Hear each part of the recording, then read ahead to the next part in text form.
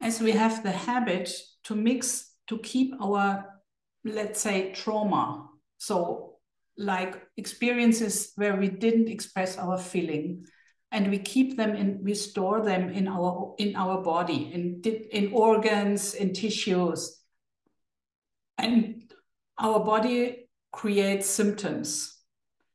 The symptoms are like a torch, which show out show us look there, look there. There is something stored in our body. And then we can go into this special organ which produces a symptom and can ask the, the organ, what's happening here? And the organ, together with the feelings, the organ presents the story, whatever happened.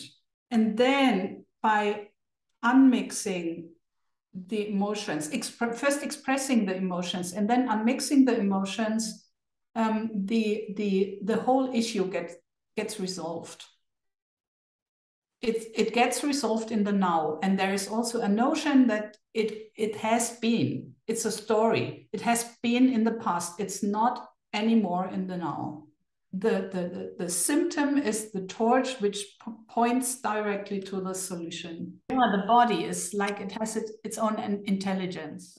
And I don't think it the the mixing emotions by in the feeling cycle or, or in with the body um, is is something which um, it it it's it adds to the mo uh, to these um, unmixing feelings we know about this energetic with the energetic hands and the strong feelings, and then you can add the other. It's more like other techniques you can add.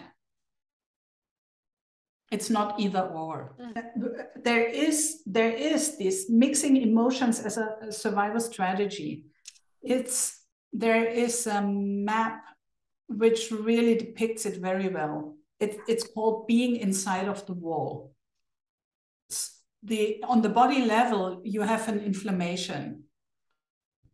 And on the, I'd say, energetic, emotional level, you are inside of a wall. You are walled in. So you have a wall inside against your child, like against the child um, or against the being, and you have the wall outside against the outer world. And your life, which seems to be life, but it's all fake, is between the two walls. It's between the two walls is all this mixed emotion, low drama, a lot of movement, a lot of um, really a lot of things are happening, but they are not in connection either with the inside or the outside. So there is no real connection to the outside. There's no real connection to the inside to the art. And in between the walls, there's all this drama.